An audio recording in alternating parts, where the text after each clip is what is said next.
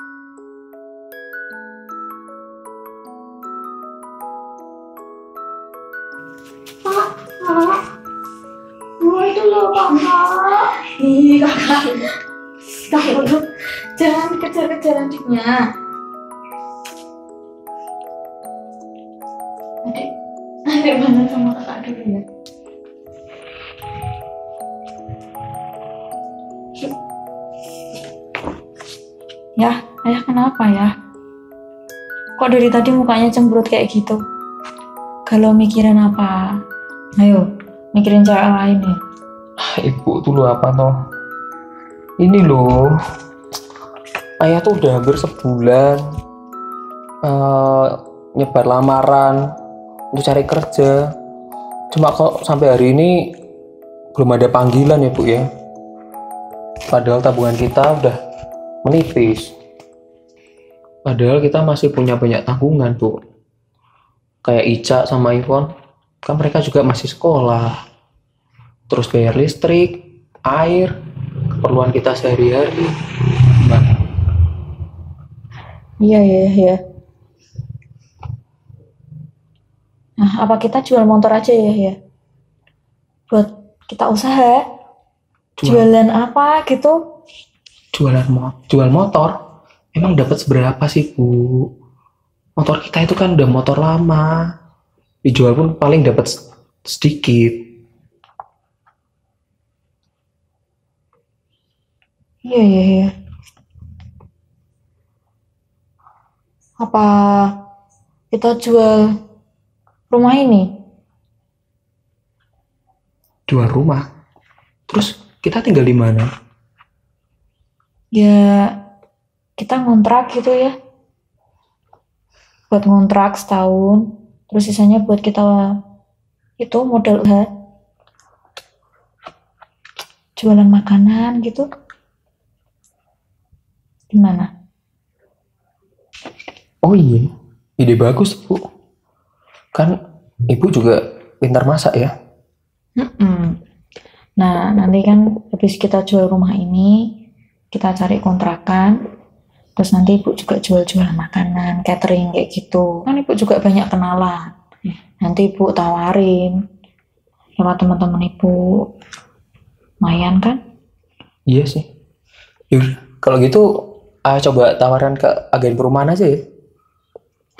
Loh ya, ya jangan ditelepon sekarang.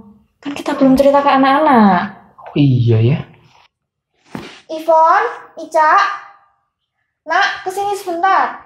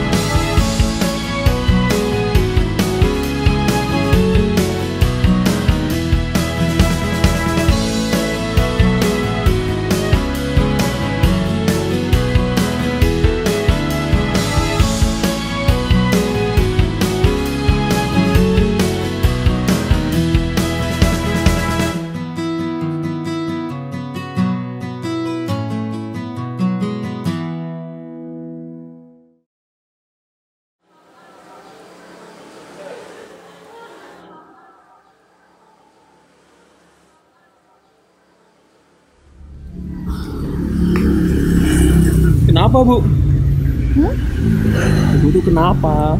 Senyum-senyum sendiri. nggak apa-apa ya nggak nyangka aja ya Bersyukur udah bisa buka usaha sendiri kita. Udah bisa jualan. Iya. Puji Tuhan ya. Semoga aja usaha kita ini lancar. Amin. Semoga lancar sampai akhir ya ya. Amin. Jadi, kita pulang ya, Bu. Udah langsung pulang. Tadi udah dikunci semua kan ya? Oh, udah dong. Ya udah, ya.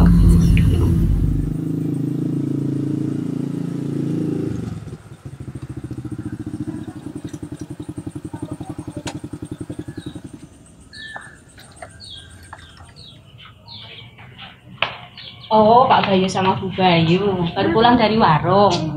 Capek ya? ya udah, langsung istirahat. Itu anak-anak sudah pada nunggu. Iya nih Bu. Ya udah, kita langsung masuk aja ya Bu ya. Mari.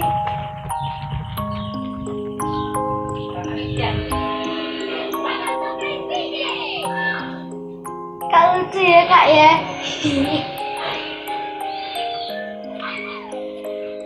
Loh, adik kok pada belum bubuk? Udah malam loh, nak. Iya bu, kakak sama adik lagi nungguin ibu sama ayah. Terus adik takut takut tidur sendiri. Iya apaan sih kak?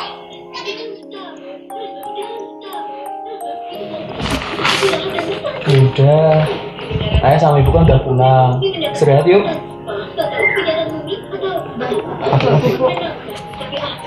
Tidurnya dimatiin aja ya.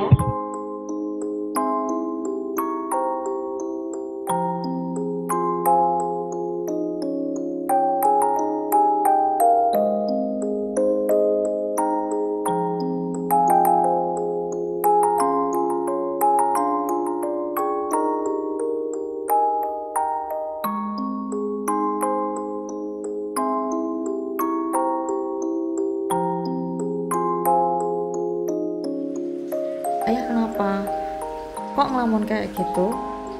Mikirin apa? Mikirin ibu ya. Ibu tuh.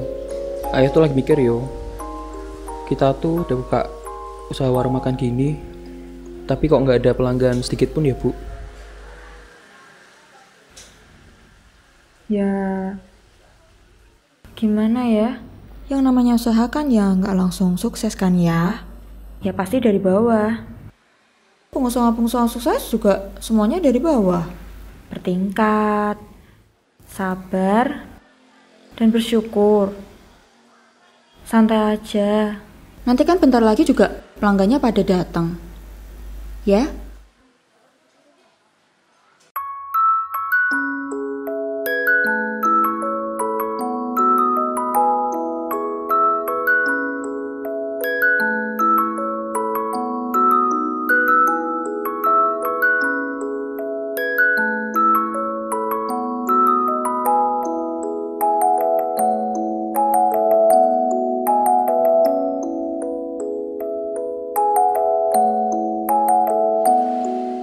Dulu malah ngasih ke pengemis. Loh, kan berbagi ya. Ingat kata Tuhan Yesus. Tabur, tuai. Siapa yang menabur, dia juga menuai. Siapa tahu habis ngasih rezeki buat pengemis, nanti pelanggan kita banyak. Pada datang. Ya kan? Udah toh ya. Udah, ayah lanjut bersih-bersih. Ibu tak beres-beres dapur ya.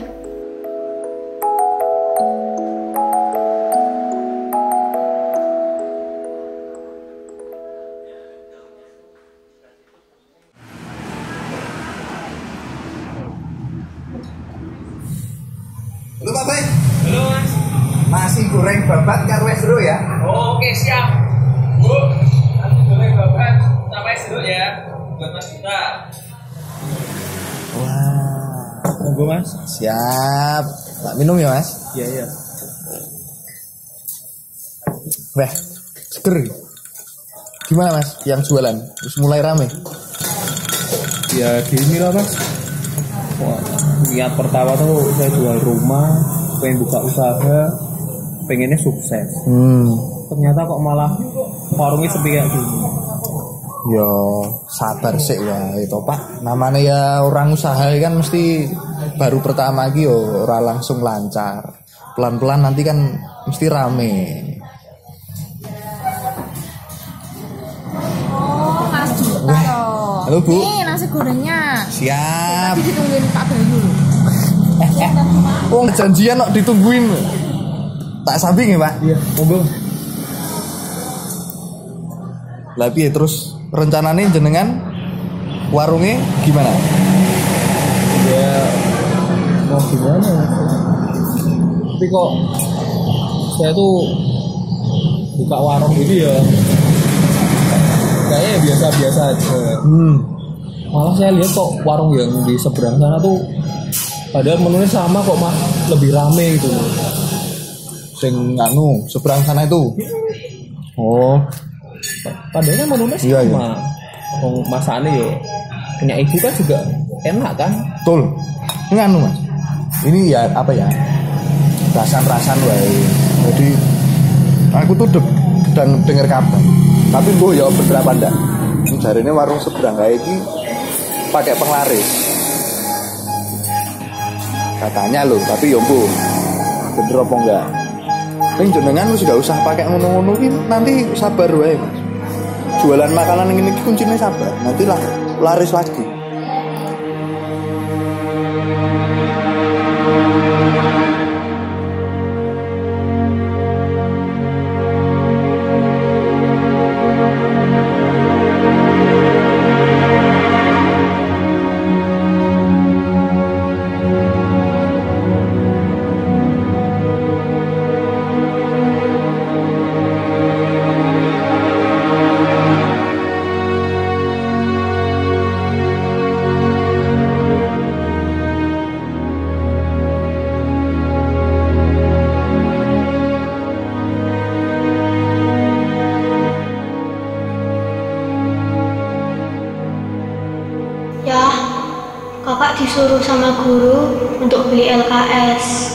Belajar.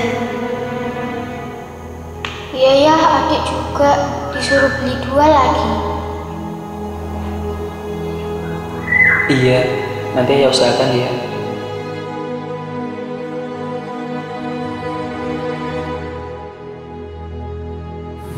Ini ini warung seberang kayak ini pakai penglaris.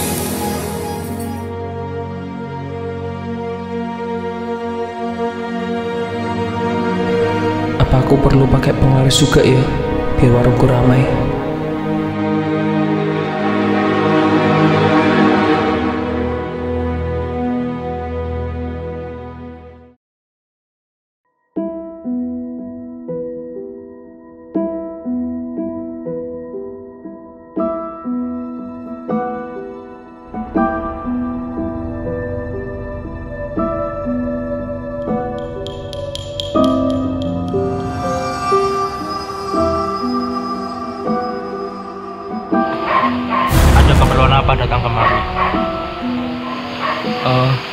Gini mbah, Eh, saya tuh punya usaha warung. Cuma kok warung saya tuh sepi. Jadi saya mau minta tolong biar warung saya jadi rame mbah. Hmm. Baiklah, akan saya bantu. Tapi ada syarat yang harus Anda lakukan dan jangan sampai Anda lupa.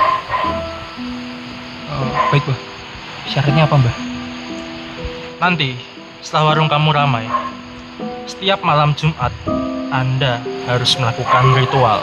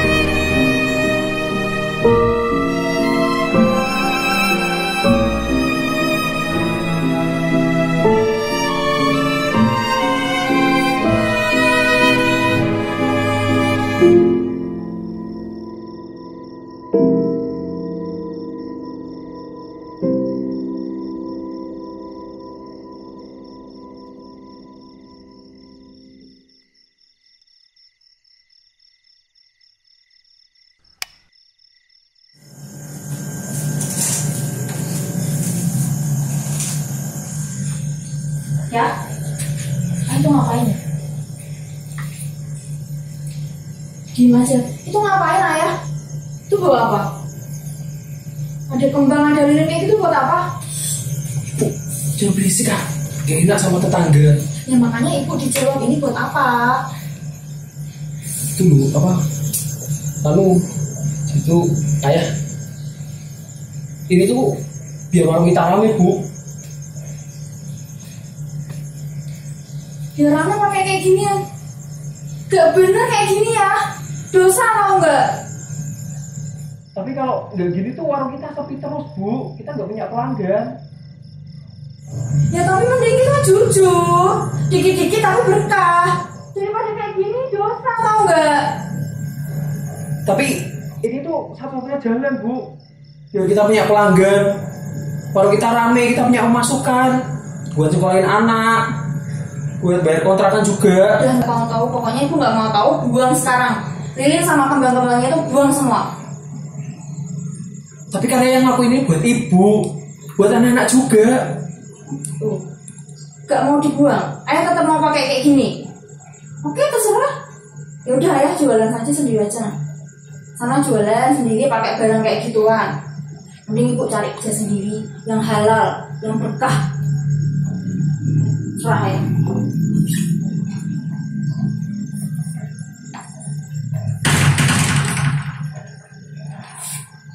Jangan sampai ya anak-anakku makan dari hasil kayak gitu.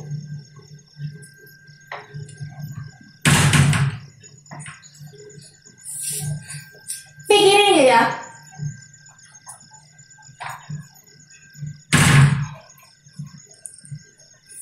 Tidur luar.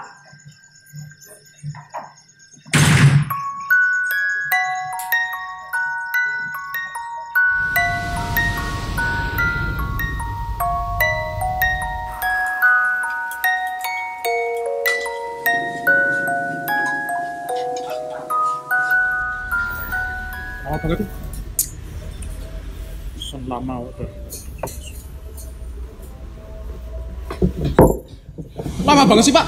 Pesan dari tadi kok baru datang. Udah satu jam juga kok. Orang namanya warung rame kok mas, mas. Mbok sabar. Bapak tuh nggak usah ngegas, kita tuh pembeli adalah raja, bapak ngerti gak?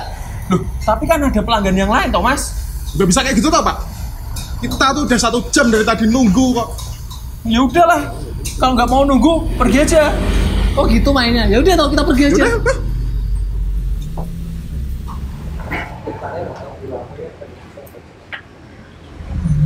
Om, belum jadi toh? Oh iya, bentar ya. Eh, Mas Duta. Pak Bay, ada apa ya kok ketoknya rame toh? Yang barusan keluar yuk kok ketoknya marah-marahnya kenapa? Ya itu Mas. Namanya pelanggan yang nggak sabaran kan gitu. Orang pesanannya lagi tak bikin ke Mbak, jualan sendiri kok. Ibu ke mana? Nah itu mas, ibu tuh nggak ikut ya karena kemarin ada masalah. Berantem. Iya, masalah warung. Masalah warung. Iya. Saya itu bingung mas. Padahal kan saya buka usaha ini kan juga buat ibu, buat anak-anak juga. Ya. Dan juga saya kan mikirnya ibu kan bisa masak gitu loh. Nah kalau gini kan saya juga bingung mas. Ibu nggak mau kebantu, terus yang masak siapa? Kan saya juga kewalahan. Apalagi ini pelanggan juga banyak. Gini mas.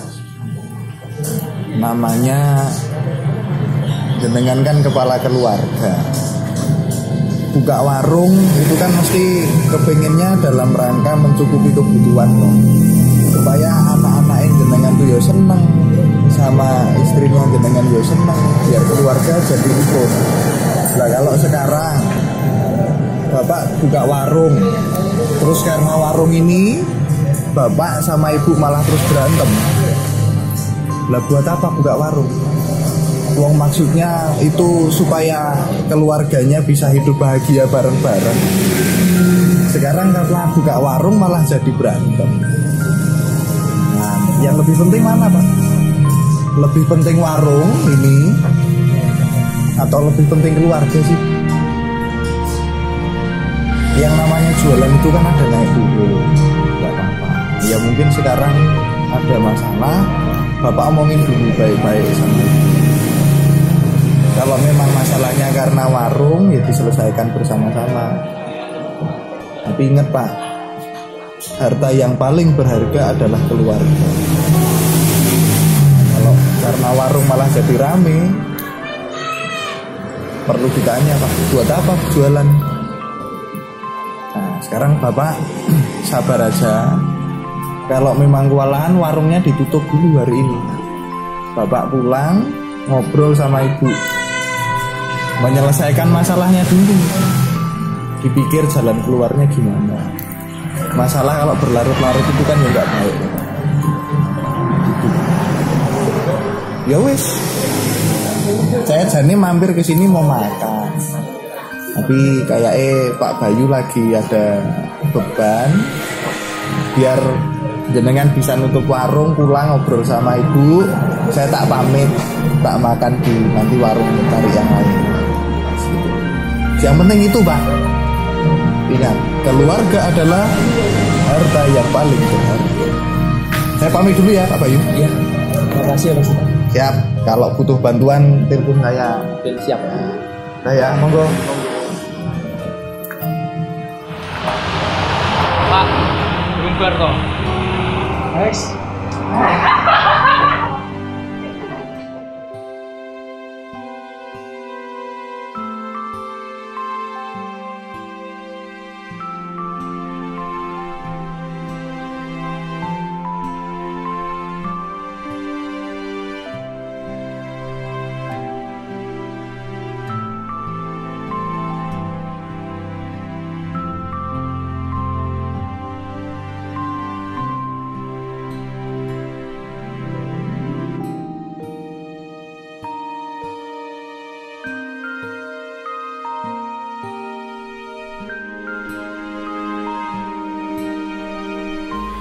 Tuhan, ampuni hambamu ini yang telah menduakan engkau.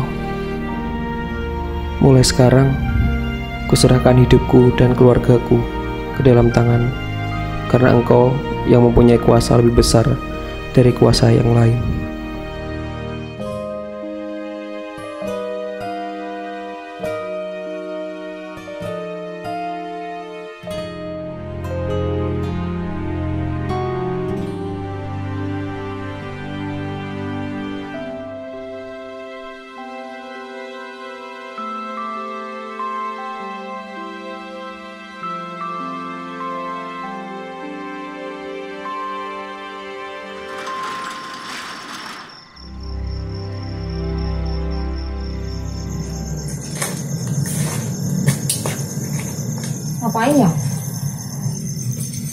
Nungguin ibu. Ngapain nungguin ibu? Ada yang mau ayah ngomongin bu. Hmm.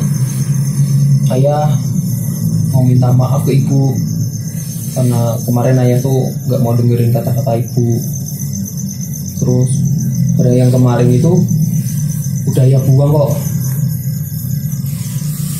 Beneran udah dibuang. Iya beneran. Ayah tuh nggak mau kalau orang kita rame, tapi ibu malah nggak seneng terus malah nggak mau bantuin. Kan percuma. Orang ibu yang bisa masak, Syukurlah kalau gitu kalau ayah udah sadar. Yaudah ibu maafin ayah. Gitu dong ya dari kemarin sadar. gak baik tau nggak ya kayak gitu makasih ya bu kita tuh harus ngandalin Tuhan dekatnya Tuhan tuh baik daripada ngandelin hal nggak jelas kayak kemarin. Iya. Oh iya ya bu sekalian mau cerita. Cerita apa bu? Gimana kalau warungnya kita tutup aja ya? Ibu tuh kan udah kerja. Penghasilannya tuh lumayan loh ya. Lumayan bisa buat bayar kontrakan bayar sekolah anak-anak sama bayar kebutuhan sehari-hari.